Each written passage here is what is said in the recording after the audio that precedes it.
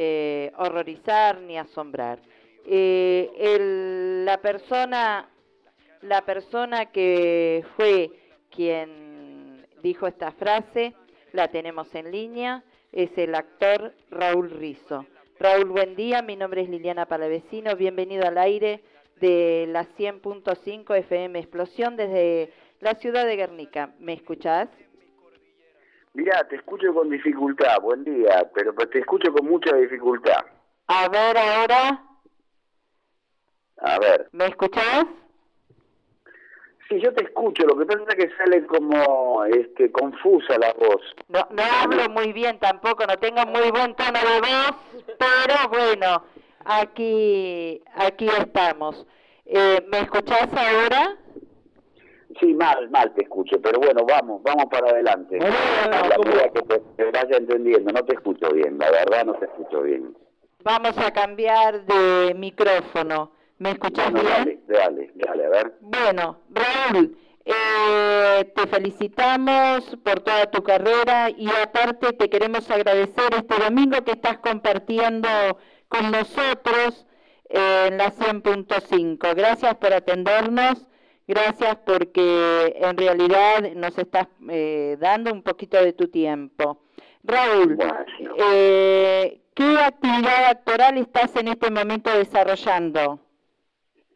Bueno, estoy haciendo un enemigo del pueblo en el Teatro Tabarís, junto ah. con Juan Leirado, Edgardo Moreira, Viviana Puerta, Bruno Pelicone y Romina Fernández, con dirección de Lisandro Fix es una obra que venimos ya más de un año haciéndola, la estrenamos en el Teatro Regio por el Complejo Teatral de Buenos Aires el 12 de abril del año pasado.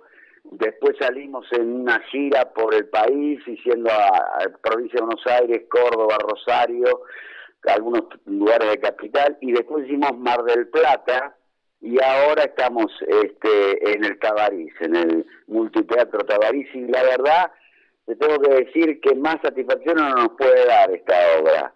Desde la cantidad enorme de público que nos ha visto y nos sigue viendo, desde los premios recibidos, las críticas, la reacción de la gente, así que es, fantástico lo que pasa con un enemigo del pueblo. ¿Qué, ¿Qué tal, Raúl? David Argañarás te habla. Y bueno, debe ser un poco también el reconocimiento a tu trayectoria y esto de estar siempre hablando con, de, tu, de tu lugar de actor, ¿no? ¿no? No creyéndotela, sino de ver siempre la realidad. Creo que un poco se ve reflejada esa gratitud hacia vos en el público. Mirá, yo básicamente soy un actor, soy un ciudadano, eh, me importa el país en el que vivo, lo amo, y bueno, y las cosas que suceden me, me atraviesan, no me pasan indiferentes y bueno, y frente a eso tengo una opinión construida a lo largo de mi vida y bueno, eso es lo que escucho a la gente, eso es lo que yo me, me expreso de esa manera. Pero básicamente yo me expreso como actor, que es lo que más amo hacer, ser actor.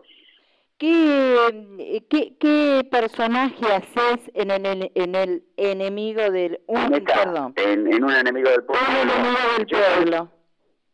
soy el intendente. Esta es una obra... Ah, bueno. claro, soy el intendente del lugar donde y mi hermano, que Juan Leirado, es el médico de las termas.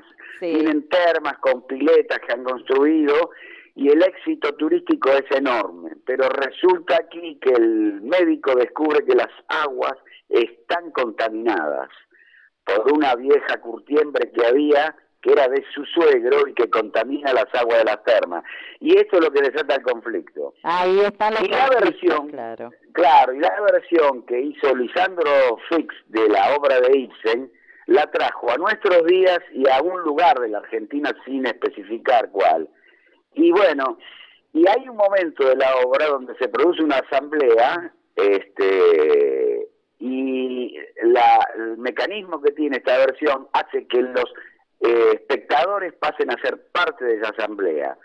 Y yo les digo, les cuento que en mi vida viví una experiencia igual, de la reacción del público, mm, que abuchea, que grita, que aplaude, que ríe, que se pone a favor de... Es impresionante lo que ocurre. Así la cuarta pared queda totalmente destruida y, y la participación de la gente, el vínculo y la interrelación con nosotros es absoluta. Entonces ahí vemos un poco de democracia directa, o sea, donde el pueblo también comienza a tener voz. Totalmente, pero no solo eso, sino que es un termómetro para nosotros de cómo están las cosas y cómo está la gente también, ¿no? En qué estado se encuentra, en qué punto se encuentra, y la necesidad de participar y la necesidad de expresarse y de opinar este, aparece en toda su dimensión ahí, en ese, en ese tramo de la obra. Raúl, se convierte en un espectáculo diferente, creo yo. Claro. Raúl, ¿te gusta ser agitador de verdades? Eh, a mí me gusta expresar lo que pienso, creo, siento y construir a lo largo de mi vida. Yo soy un convencido que un actor y un ciudadano, ¿no? Tiene que nutrirse de muchas cosas, porque lo que nosotros hacemos como tarea en la vida es interpretar vidas, interpretar conductas. Y cuanto más elementos eh, que uno tenga de la vida, ya sea de la biología, de la filosofía, de la existencialidad, de lo, que todo lo que aquello que te nutre vale. Y yo lo expreso, lo digo, este, cuando estamos poblados de mentiras y de cinismo en esta última etapa que estamos viviendo en la Argentina, estamos atravesando una crisis económica feroz, eh, con mucha gente hambrienta, con mucha gente viviendo en las calles, eh, con muchos jubilados que deben haber fallecido, muertos, así, directamente. Sé que no hay estadísticas al respecto. No. Pero una persona de edad que no puede consumir los remedios que necesita, pero como el agua los necesita, como el, oxígeno para vivir, no los tiene. Cuando tiene mala alimentación, cuando no puede prender la estufa en invierno porque sale muy caro el gas, lo más probable es que se muera. No, seguro que se muere. Y han muerto muchos ya. Entonces vivimos bajo esa égida. Y yo frente a eso tengo un pensamiento y una rebeldía, gracias a, a, Dios o a quien se llame, que no la tengo latente y me expreso. Y me expreso todo con conocimiento de cosas y de causas. Claro, claro. Siempre has sido un luchador y, y siempre en toda, tanto arriba de, de un escenario como frente a una cámara o cuando has tenido la oportunidad, realmente has hablado de las formas que nosotros pensamos, aquellos laburantes, desocupados, amas de casa, o sea, has expresado lo que realmente mm, eh, nadie puede espantarse, porque no estás mintiendo, estás diciendo realmente lo que muchos no se animan a decir delante de una cámara y, eso es un logro. Y se lo dice, y se lo dice. Yo recuerdo bien. yo no puedo ser, además yo no puedo ser traidor a la clase social a la que me dio origen, de laburantes. Eh, mi viejo obrero del frigorífico Lisandro de la Torre, mi vieja cosía cuello. Yo sé lo que es la dureza de la vida, sé lo que es construirse todos los días, sé lo que es no tener cosas que deseas tener y no las podés tener. Este, sé todo eso sé y desde ahí miro la vida y desde ahí construyo una ideología de vida bueno, y me expreso como tal. Siento, sería muy feo para mí saber que no soy coherente con las cosas que, que digo y acciono, ¿no? Esto sin duda.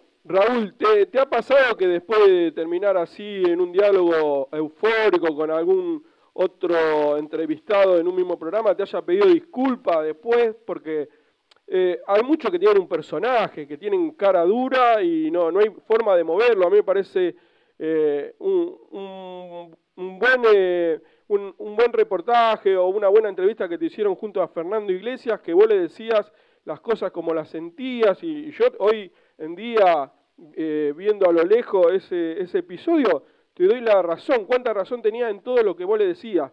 Pero ¿te ha pasado que te han dado la razón o te han pedido disculpas después de, esos hechos a, algún eh, entrevistado? Jamás, jamás, jamás lo hicieron. Yo, este, yo empecé a los pocos meses de este gobierno a decir que eran cínicos y mentirosos. Y eso levantaba mucha polvareda, eh, que era un gobierno legítimo, eso no lo ponía en duda, que había ganado las elecciones y que era el pueblo se había pronunciado.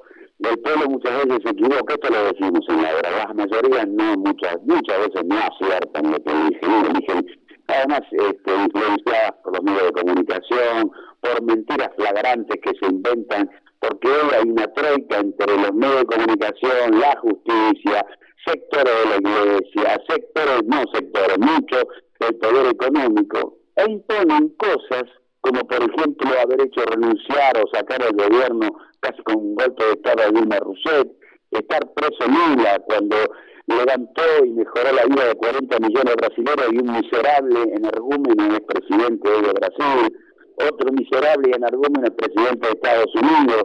Pero entre todas esas cosas, bueno, yo a esta altura de mi vida soy un tipo grande y vivido y transitado en, la, en, los quehaceres y en los, en los pesares de este país y del mundo, no puedo tener otra opinión.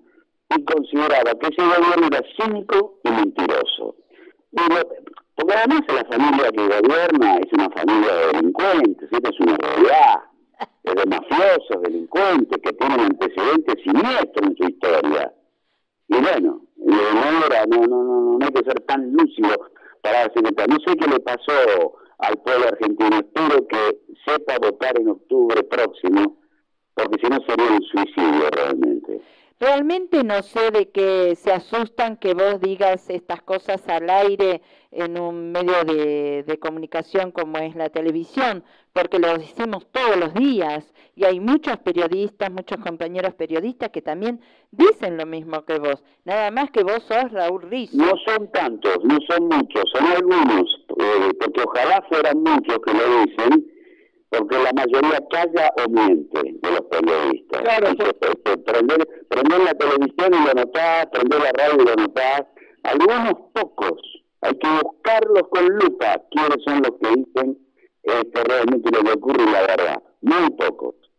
Claro, por eso mismo yo te preguntaba, porque algunos, digo, por ahí se comen el personaje de que tienen que ser eh, oficialistas y dicen la teoría que le dicen que tienen que decir, pero en el fondo, digo, por ahí hay algún arrepentimiento de, lo que están haciendo, pues yo me imagino que más de uno lo debe hacer por su comodidad eh, actual, porque están bien ellos, en contrario a lo que... yo creo que hoy en día lo que está ocurriendo es con periodistas que están criticando lo que antes alababan y mm. respaldaban, que era este gobierno, es aquella frase popular que dice, cuando las ratas huyen del arco, son unas ratas que huyen del arco son tan miserables que ahora se van y no tienen una coherencia de sostener hasta el final lo que durante tres años y medio estuvieron defendiendo y mintieron para eso y, y, fueron Judas. Hoy que estamos en la semana pascual, tenemos muchos Judas iscariotes que se han vendido por 30 dineros.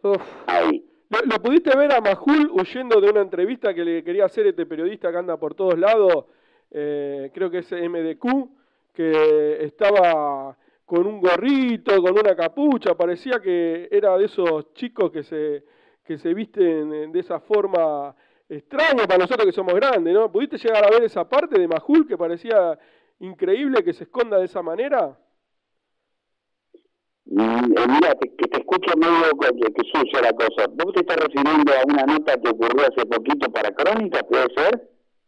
Eh, no, una nota en donde, en donde a Majul lo, lo, agarran a la salida de, de, un lugar donde estaba, creo que... Ah, no, no, Majul. Ahí tenemos a otro personaje. debe ser uno de los líderes de las ratas. claro, como comentaste. Él debe saber dónde está el queso siempre, eso sí. Ah, eso sí. periodista, pero dónde está el queso él sabe, lo va a buscar y te lleva las ratitas detrás. Bueno, este, es un operador, claro, pero es un operador de eh, este gobierno. Pero ahora se le está dando vuelta al gobierno. Ahora este, critica al gobierno, es increíble. Es, son siniestros, son siniestros, son este, además eh, eh, ya repugnante porque es pornográfico lo que hacen, es pornográfico. Da asco, da, asco de tanto halago para este gobierno, realmente es Sí, sí, no, ya no lo halagan, ahora lo, lo atacan y dan más asco todavía. Porque mantener la coherencia, tener un poco hasta de dignidad para defender a un miserable. mantener esa defensa hasta el final, ¿no? ¿Qué sé yo? Claro, morir, morir con las botas que, puestas. Que sostengan el tiempo, por lo menos. No sé cómo miran a los hijos de frente, la verdad que no sé cómo hacen. O construyen hijos que son monstruos como ellos, supongo. Mira, la verdad no lo sé, pero sé que nosotros como eh, ciudadanos eh, no podemos permitir que esta gente nos siga engañando. Esa es la razón de este programa que tenemos. Eh, en una localidad pequeña, a 30 kilómetros de la ciudad de Buenos Aires, y bueno, te imaginas que nosotros estamos muy emocionados por esta oportunidad que nos estás dando y bueno yo el de hacerlo y me alegro mucho bueno, de, poder colaborar con el programa de ustedes porque es un programa evidentemente que dice la verdad que, que tiene una postura determinada y que ayuda a abrir cabezas sin ninguna duda Raúl, recordanos eh, el nombre de la obra y en qué días y horarios te podemos ver. Los días que vamos, mira, eh, nosotros estamos en el teatro, el Multiteatro Tabarís, y vamos, eh, con un enemigo del pueblo, vamos, de miércoles a viernes a las 20 horas, sábado 19.30 y 22 y domingo 19.30 a ese en Corrientes al 800, todo el mundo lo reconoce ese teatro.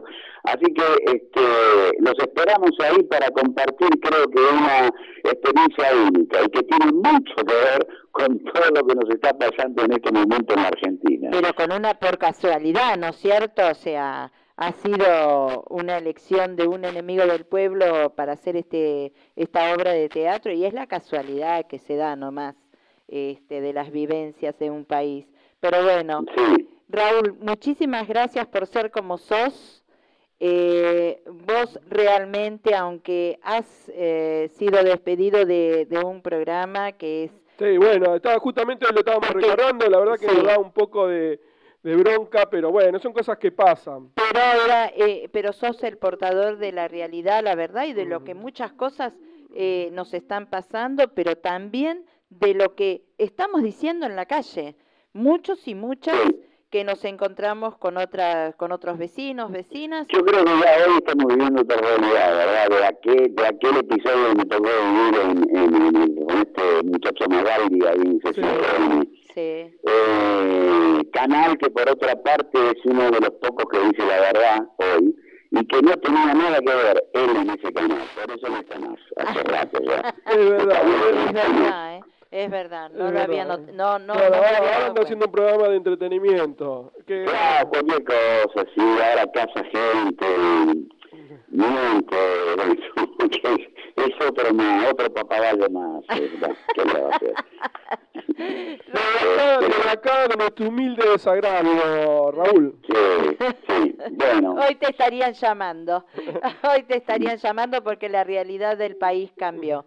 Raúl, te damos muchísimas gracias, gracias totales por esta oportunidad y bueno, imaginarás que la emoción que nos embarga es demasiada y, y realmente te agradecemos este pedacito de domingo que nos haces compartir con vos. Muchísimas gracias. Bueno, un gustazo, fue un gustazo enorme y les mando un beso y un abrazo a todos ahí. Un abrazo para vos y gracias por, eh, por todo lo que, por estas eh, oportunidades que nos das. No cambies nunca, eh, no cambies nunca. Sé que te has casado con tu compañera de vida desde hace muchos años. Sí, sí. sí, sí, este, sí, Llevamos, llevamos 10 años de pareja, tenemos un hijo ya de 7 años y nos hemos casado, nos hemos hecho todo, por, por civil, por iglesia, fue emocionante, estuve con mis amigos, con mis este, parientes más queridos, así que fue hermoso, Qué lindo, qué lindo, qué lindo regalo que te has dado. Bueno, un abrazo grande y muchísimas gracias y no cambies nunca, Raúl. Vamos, Raúl. Bueno, un abrazo enorme. Soy, soy lo que dejaron, soy toda la sobra de lo que se robaron, un pueblo escondido en la cima, mi piel es de cuero, por eso aguanta cualquier